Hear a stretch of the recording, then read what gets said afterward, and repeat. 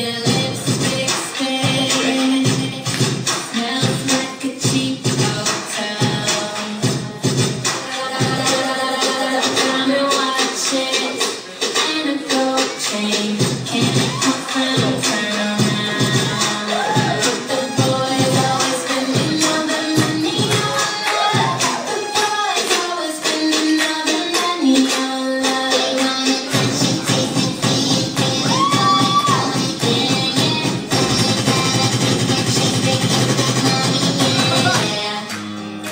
get high, love a bunch of girls.